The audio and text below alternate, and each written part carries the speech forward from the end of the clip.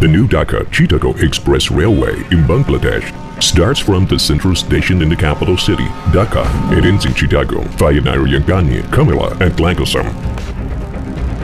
The total length of this line is 231.9 kilometers, 18.8 kilometers of which is bridge, taking up 8.1% of the whole railway. Dhaka Laksam section within this line is 110.9 kilometers in length, 9.7 kilometers of which is bridge, taking up 8.8% of this section. Laksam Chittagong section within this line is 121.0 kilometers in length, 9.0 kilometers of which is bridge, taking up 7.5% of this section. With a total length of 2260.4 meters and the structure of steel truss for its main span, the super large bridge over Meghna River is the biggest bridge along the whole line.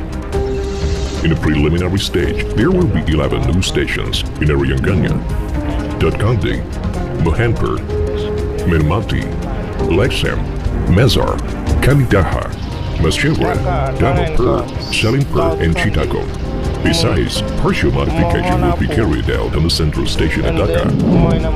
With 160 km per hour of designed target speed, this double-track railway adopts standard gauge and diesel locomotive. The transport volume on single direction could reach 21.8 million pounds. This will be 42 pairs of passenger trains per day, and the passenger flow density is 12.6 million people.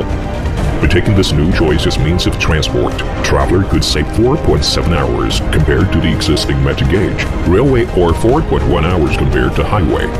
When it is completed, the freight transport volume from Chittagong will be increased from 30% up to over 50%. By building this line, the quality of corridor connecting Dhaka and Chittagong will be improved, thus meeting the growing demand of the national economy. The new expressway will function as transport passageway, together with the existing meter gauge railway to increase the freight collection and distribution capacity and reduce the travel time for passengers largely. This boosted the national economical development to Dhaka, Chittagong, and areas along the line. Since the new railway will expand the transport capacity, the traffic stress will definitely be released and transport cost will be reduced when the new line is completed.